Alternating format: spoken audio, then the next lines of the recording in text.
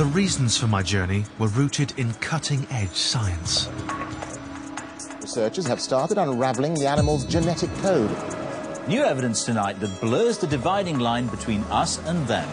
We're nearer than we ever thought to our animal ancestors. And not just nearer. Some claim that genetically we're practically the same. 99.4% identical to human DNA. And then I heard about this.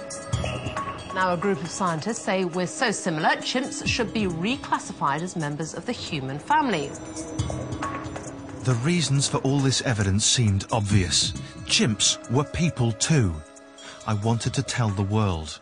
But Hello. I couldn't do it on my own. You've heard of chimpanzees? Yes. Chimpanzees are people too. Over to you. They seemed impressed. Chimpanzees are people, too. We're all people. We're all the same. We're all kind of there. What do you mean? How, why are they people too? We share 99.4% of the same crucial DNA with chimps. Yeah.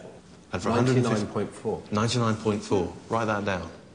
The New Eden. Exactly. The new Eden. I'm trying to sell a vision, Trying to sell a vision. a belief. rebranding chimps. The ad agency were on board, and just one week later, they'd come up with some excellent ideas.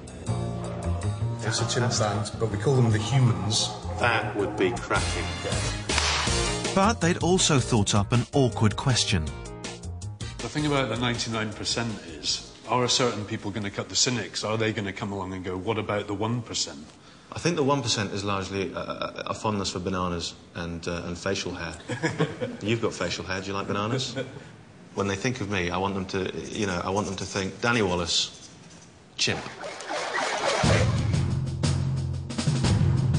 Now, with a logo and some flyers, I felt ready to take on the world of science.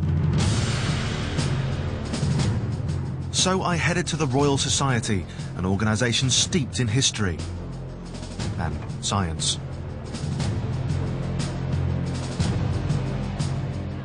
Today I would mingle with some of the world's leading primate experts, the very scientists who spend their days studying the noble chimpanzee.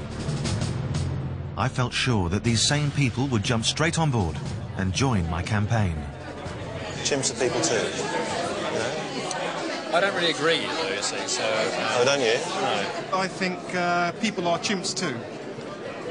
That's good. That's nice. I like that. Chimps are people too. Well, yes, in the light in which we're talking about it today, yes. Yeah? Chimps are people too. Yes. I'd say it's probably factually inaccurate. Factually inaccurate. No. Aren't they a bit like toddlers? No.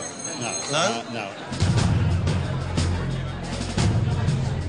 It's not going. It's not going 100% well. I'll be honest, it wasn't even going 99.4% well.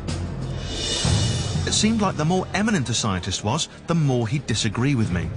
Like Professor Andy Whiten, who was quite clear when I asked him what the one big difference was. Well, I, I think there's more than one big difference, um, and in a sense, it's in the brain. I mean, we, our brains are three times as big and structured differently, and then the output of that is we have speech and language, which wild apes really don't do. At least Andy Whiten spoke to me. Many just ignored me, or turned away and pretended to drink tea. Or they try and warn me off the whole project, like Professor Nicholas Humphrey. And if I said the phrase "chimps are people too" to you, what would your reaction be? I would wonder why on earth you were saying it. I mean, Really? it- chimps are not people. I mean, chimps are chimpanzees and people are people. And why would you want to confuse them? It won't do chimps any good, and it certainly won't help, help- really help us understand much more about human beings either. I feel like maybe uh, the scientific community aren't really taking me that seriously, which is annoying because 50 quid's of these made.